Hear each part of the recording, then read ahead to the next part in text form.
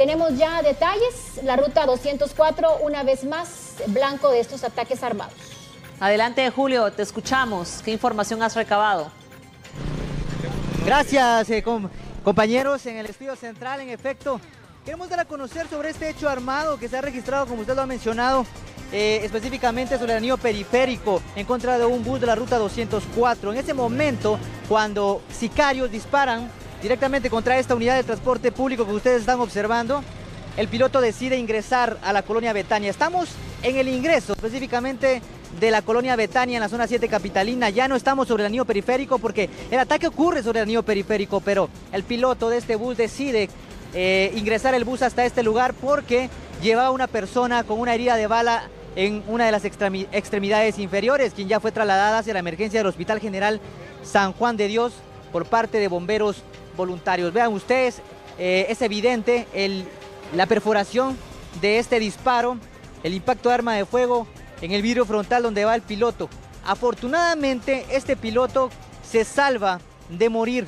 Según nos indica, eh, la dirección de este disparo impacta justamente en un teléfono celular que se encontraba colocado a la par de la ventanilla del piloto. Queda descartado. Se hablaba al principio de que posiblemente él se salvó porque el teléfono celular lo llevaba eh, en la bolsa de la camisa y que había impactado el disparo en el teléfono y que era la razón por la cual se había salvado.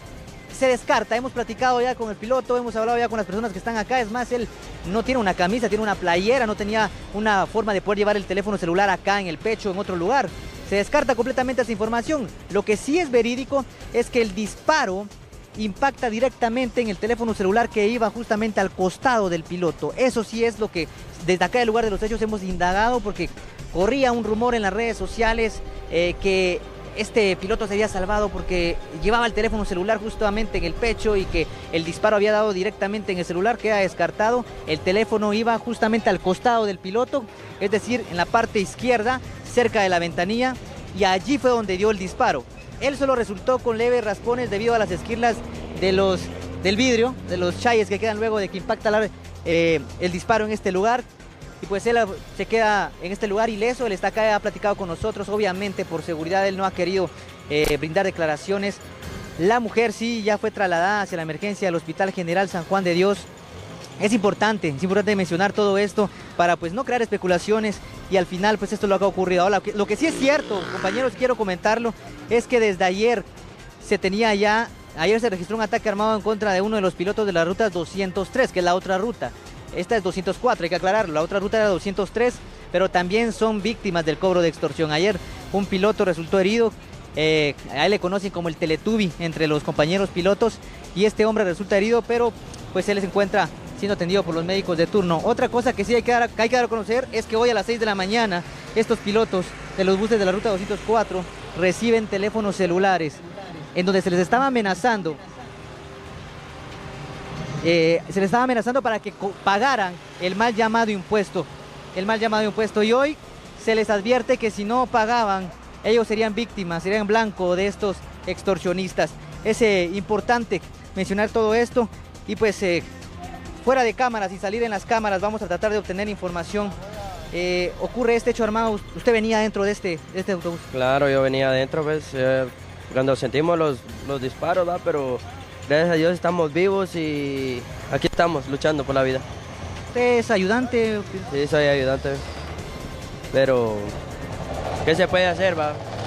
Así, así es que más seguridad porque la verdad es que eso está duro. Y a ver qué pasa.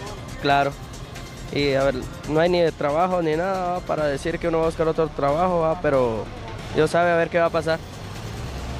Se, se nos informa, nos llega la información que justamente hoy les habían entregado teléfonos celulares a los dueños de estos buses. Así es, así fue. Hoy, hoy lo entregaron, pero supuestamente iban a hacer una sesión, a eso íbamos, pero ya no dejaron hacer eso, a ver qué pasa.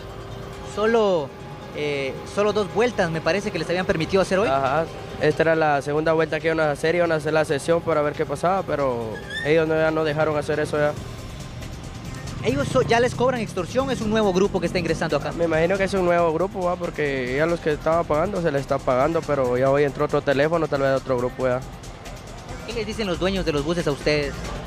que era una sesión que íbamos a hacer para ver a qué, se, a qué se llegaba, pero no, no se pudo. Y los dueños, a ley, ellos reciben su dinero que tiene que pagarle uno y aparte lo de la renta que tiene que pagarle uno a ellos también, a los de las extorsiones. Tiene familia, me imagino, caballero. Sí, claro, tengo mi familia, tengo mis dos nenas que aún están esperándome en la casa, pero gracias a Dios voy a llegar otra vez con vida a verlos. ¿Es arriesgado este trabajo? Claro, es arriesgado, pues, pero imagínense, a veces la gente no quiere pagar ni dos quexales para ver cómo puede sacarnos la renta de, ellos también, para ver si le queda uno para la comida, también para, para eso, pero a veces la gente no colabora. Por dos quexales uno arriesga su vida también y a veces no quieren pero a ver qué pasa más adelante.